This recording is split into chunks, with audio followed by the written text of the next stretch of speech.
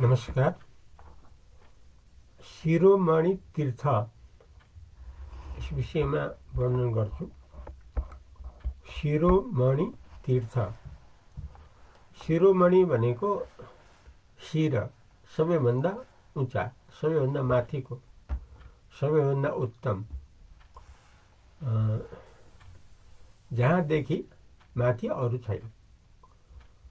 उचाइमा श्रेष्ठता। उत्तममा सर्वोत्तम। उत्तमोत्तम यसलाई शिरोमणि भनिन्छ। के को बारेमा भने तीर्थको बारेमा। तीर्थ भनेको मठ मन्दिरको को बारेमा हामीले यो सबैलाई थाहा छ। यसैलाई लिएर हामी तीर्थ भन्छौँ। तीर्थ भन्ने कुरा तीर्थको अर्थ भन्ने कुरा तीर्थको परिचय भन्ने कुरा हामी सबैलाई थाहा भएको कुरा हो।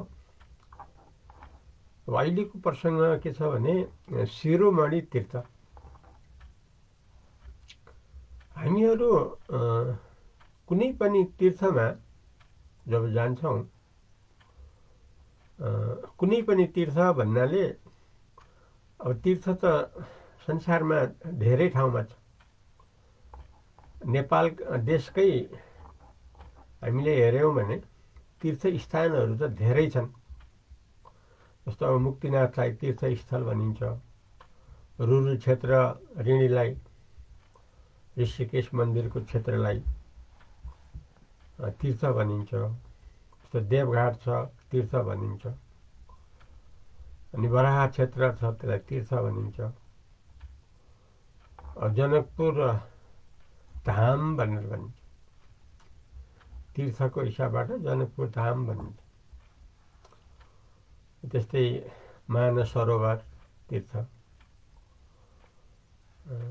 अब पशुपतिनाथ त मुख्य भइ नै हाल्यो। मुख्य तीर्थ भइहाल्यो। किनभने सारा तीर्थ गरिसकेपछि त्यसको अन्तिम र श्रेष्ठ तीर्थ हो पशुपतिनाथ। त्यहाँ गएर समाप्त हुन्छ त्यस कारणले पशुपतिनाथको महत्त्व तीर्थहरूमा सर्वश्रेष्ठ छँदैछ भनिन्छ अब भारतमा चार धाम छन्। छ भएको कुरा हो। अब यसमा चार धाम तीर्थ भ्रमण गरेपछि पनि अनि पशुपतिनाथको तीर्थ त्यहाँ गएपछि बल्ल पुरा धाम पुरा तीर्थ भएको मानिन्छ। अब यो हो तीर्थहरूको वर्णन अर्थात् विभिन्न ठाउँमा तीर्थहरू रहेका हुन्छन्। अब तीर्थमा हाम्रो जान्ने इच्छा हुन्छ। इच्छा जहाँ हुन्छ त्यहाँ उपाय पनि हुन्छ। त्यसैले हामीहरू तीर्थमा जाने इच्छा गरिराखेको हुनाले तीर्थमा हामी पुग्छौँ। तीर्थमा जुन तीर्थमा हामी जान्छौँ त्यहाँ पुग्छौँ। अनि पुगेपछि हामीले त्यहाँ यताउता सबै हेर्छौँ। र हामीलाई केही छिन् भने पनि त्यहाँ सुखको अनुभव हुन्छ। हामी सबैले त्यो तीर्थ भनेर हामी गएका हुन्छौँ। तीर्थ स्थान पुगिसकेपछि हेरिसकेपछि हामीलाई सुखको अनुभव हुन्छ। किनभने हामीले खोजेको कुरा पायौँ। खोजेको कुरा पाएको हुनाले हाम्रो मन अडिन्छ हाम्रो चित्त अडिन्छ हाम्रो इच्छा अडिन्छ। अनि हामीले सुखको अनुभव गर्छौँ। यो हामी सबैको अनुभवको कुरा हो। भले हामी कोही साना साना तीर्थमा गएका होला या ठुलो ठुलो तीर्थमा गएका होला जुनै पनि तीर्थमा हामी गएका हुन्छौँ। गइसकेपछि र पुगिसकेपछि र सबै हेरिसकेपछि हामीलाई सुखको अनुभव हुन्छ यो हामी सबैको अनुभवको कुरा हो अब यसमा हामीले विशेष दृष्टि के दियौँ भने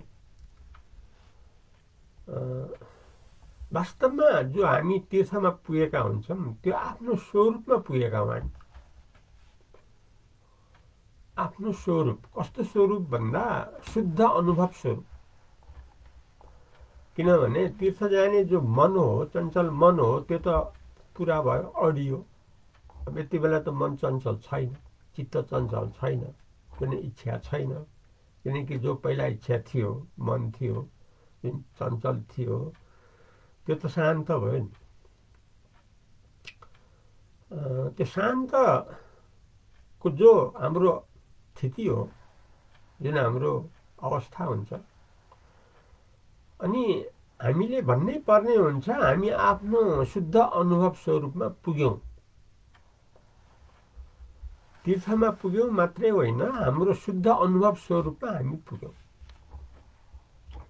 किनकि जहाँ मन चञ्चल छैन त्यहाँ त आफ्नो शुद्ध अनुभव स्वरूपलाई नै हामीले फेला पार्ने।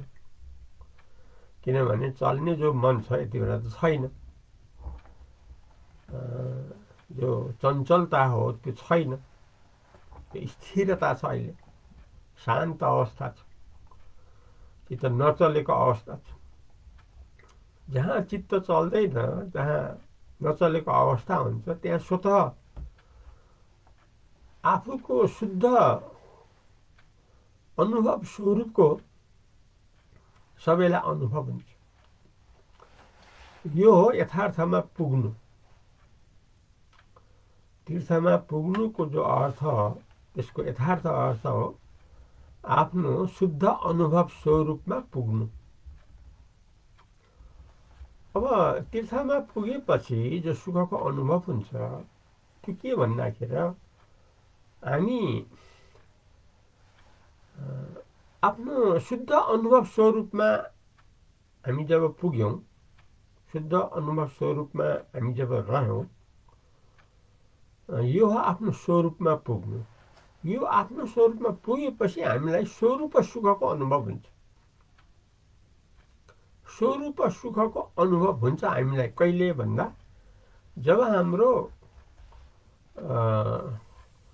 यो शुद्ध अनुभव स्वरूपमा हामी पुग्छौँ। जस्तो मन्दिरमा पुगेपछि हामीलाई सुखको अनुभव हुन्छ। त्यस्तै यथार्थमा आफ्नो शुद्ध अनुभव स्वरूपमा हामी पुगेका हुन्छौँ। अब शुद्ध अनुभव स्वरूप त स्वत सुख स्वरूप हो। स्वत सुख रूप हो। स्वभावैले सुख हो। किनभने सुख भन्ने कुरा स्थायी सुख भन्ने कुरा अन्त त कहीँ पनि छैन। बाहिर त कहीँ पनि छैन। बाहिर सुख छ कि भनेर संसारका हामीले संसारी हामीले जाने बुझेदेखि बुढेसकालसम्म खोजेकै हौँ। त्यसको लागि मरिमेटी गरेकै हौँ। फल्नाले सुख हुन्छ कि उसले सुख हुन्छ कि उसबाट सुख हुन्छ कि यसो गरे सुख हुन्छ कि उसो गरे सुख हुन्छ कि त्यो त सबै गर्दा गर्दै हाम्रो बुढौती आएको अथवा यस्तो गर्दा गर्दै बुढौती आउने हो। यस्तो त हामीहरूलाई अनुभव छ अर्थात् हामी भले बुढाबुढी नहौँला बच्चा होला युवा युवती होला र हामीले त सुखको लागि त बाहिर बाहिर नै खोजेका छौँ नि त बाहिरी साधनलाई नै हामीले आधार मानेका छौँ नि त त्यसैले हाम्रो दौडधुप छ नि त बाहिर बाहिर साह्रै दौडधुप हरेक कुरामा हरेक कुरामा हाम्रो दौडा दौडी छ। त्यसको भित्री उद्देश्य एउटै के छ भने सुख प्राप्ति। कसरी सुख प्राप्त त्यसैले सुख त चाहे हामी बच्चाले अनेक प्रयास गरौँ चाहे युवा पिँढीले अनेक प्रयास गरौँ चाहे वृद्ध वृद्धले अनेक प्रयास गरौँ बाहिर त हाम्रो फेला परेन नि त। यो हामी सबैको अनुभवको कुरा खोज्दा खोज्दै शरीर बुढो भयो। छाला चाउरी परे रौँ सेतै भए। तर खोजेको कुरा सुख खोजेको हो त हामीलाई प्राप्त भएन। हामी त सन्तुष्ट छैनौँ। यद्यपि हामी खोजी खोजी हाम्रो सारा जीवन के को खोजियो भन्दा सुखको हो। बाहिर त हामीले पाएनौँ। हुनाले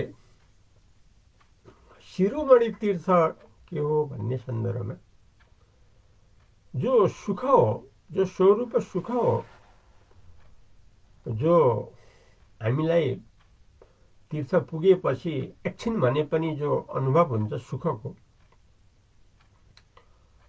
त्यो सुख त भित्रैबाट आएको बाहिरबाट आएको त होइन त्यो पनि कुन अवस्थामा भने जब हामी शुद्ध अनुभव स्वरूपमा पुग्यौँ त्यति बेला मात्रै आएको तीर्थमा पुग्दा हामीलाई जो सुखको अनुभव भयो त्यो त तीर्थमा पुगेपछिको अनुभव हो नि त पुगेर सबै हेरिसकेपछिको अनुभव हो नि त तीर्थमा जाँदाको सुख त्यो त यथार्थमा के भन्दाखेरि आफ्नो यथार्थ स्वरूप त्यो शुद्ध अनुभव स्वरूप त्यसमा हामी पुग्यौँ त्यो शुद्ध अनुभव स्वरूप त स्वभावैले आनन्द हो किनभने आनन्द छ स्वरूपमा स्वरूप भनेको आत्मा हो आत्मामा आनन्द छ स्वरूप भनेको परमात्मा हो परमात्मामा आनन्द छ स्वरूप भनेको ब्रह्म हो ब्रह्मानन्दमा आनन्द छ नामै ब्रह्मानन्द नामै स्वरूपानन्द नामै आत्मानन्द नामै परमानन्द परमात्मानन्द सदानन्द हुनाले जो असली सुख हो जो सारा सुखको जो स्रोत हो जो ऊर्जा हो जो सुख पाइने जो मूल वस्तु हो त्यो त हामीहरूको वास्तव स्वरूपबाटै हो त्यो त हाम्रो हृदयमै छ स्वरूप त हाम्रो हरेकको हृदयमै छ र निश्चल चित्तमा अचल चित्तमा नचल नचलेको चित्तमा किनकि तीर्थमा पुग्दा त हाम्रो चित्त चल्दैन नि चित्त चलेको थियो पहिला के को लागि भन्दा तीर्थमा पुग्नलाई। हामी त पुगियो नि त तीर्थमा। अब यति बेला चित्त चलेको छैन। चित्तै छैन। चित्त रहित अवस्था छ। कस्तो अवस्था भने शुद्ध अनुभव स्वरूपको रूपले छ। अब यो स्वभावैले सुख छ। सुखै सुख छ। आफ्नो स्वरूपमा सुखै सुख छ। जस्तो हामी गाडा निद्रा सुसुप्तिमा हेरौँ त्यहाँ के छ? त्यहाँ मन अडिएको छ त्यहाँ चित्त चलेको छैन। मन चित्त नचलेको हुनाले त्यहाँ स्थिरता छ। त्यो स्थिरतामा शुद्ध स्वरूपको अनुभव भएको छ। त्यो शुद्ध स्थिर जो स्वरूप अनुभव हो त्यहाँनिर आनन्दको अनुभव छ। किनकि गाडा निद्रामा मस्तले सुतियो आनन्दले सुतियो मजाले सुतियो केही दुःखको अनुभव भएन कुनै संसारी संसारको अनुभव भएन यस्तो त हामी सबैको त्यो निद्राबाट जागिसकेपछि हामी सबैले भन्ने गरेको कुरा हो नि त यो त हामी सबैको आफ्नो निजी अनुभव त्यो निजी अनुभवलाई हामीले अब अगाडि ल्याउनु पर्यो किन ल्याउनु पर्यो भने त्यो हो शिरोमणि तीर्थ सबैभन्दा माथिको तीर्थ के हो भन्दा स्वरूप सुख त्यो स्व स्वरूप सुख जो शिरोमणि तीर्थ हो त्यो कहाँबाट आउँछ भन्दा अडिएको चित्तमा निश्चल चित्तमा त्यो शुद्ध अनुभव स्वरूपमा त्यो त्यो कसरी आयो भन्दाखेरि जो खोजिएको थियो तीर्थ जाने इच्छा पहिलेदेखि त्यो पुरा भयो त्यसैले स्थिरता आयो मन निश्चल भयो अचल भयो यस्तो स्थितिमा स्वत सुखको अनुभव यस्तो सुखको अनुभवलाई यथार्थ तीर्थ भनेर सधैँ सुखै सुखको अनुभव जानेर यसलाई बुद्धिपूर्वक यसलाई सदा अनुभव गरिरहनु हो असली शिरोमणि तीर्थ। आजलाई यति नै गरौँ। भोलि अथवा यसपछिको कार्यक्रममा फेरि आउनेछु। तबसम्मलाई अद्वैत प्रदीप बलरामजी सरस्वतीलाई बिदा दिनुहोस्। नमस्कार।